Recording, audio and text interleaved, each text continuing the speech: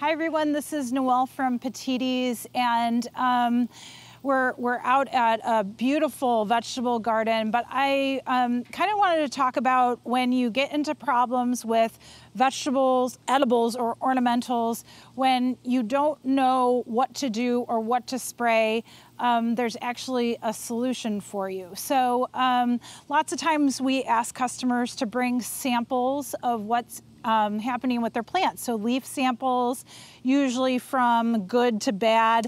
Um, if you have certain spots like this that you see on the cucumber, we'd love to see them just to try to diagnose and pinpoint what is really happening with that plant material.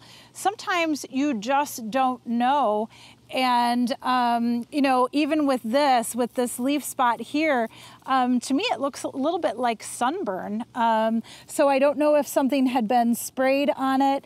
I really don't see any um, spores forming or anything like that. So um, in cases like this in the garden, um, you might have one of three things. You might have an insect problem, you might have a disease problem, or you might have a mite problem. We kind of put the mites into a whole different third category because um, they're just very difficult to control. And what's neat about that is that um, there actually is a natural control. It's called neem oil, N-E-E-M. And neem oil is in a lot of different products that you may not realize. So again, always look at your active ingredient list when you're um, picking up a garden product to use.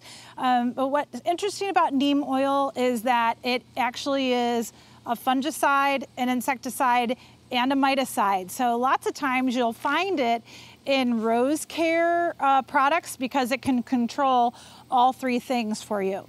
Because this is an oil, you want to spray this um, in the evenings typically.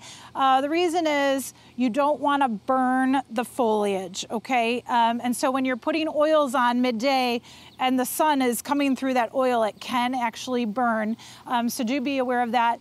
And the other thing is when we're spraying insecticides, miticides, we want to do that in the evening as well when our pollinators are asleep. So um, basically with this cucumber vine, we're just going to spray it with neem oil.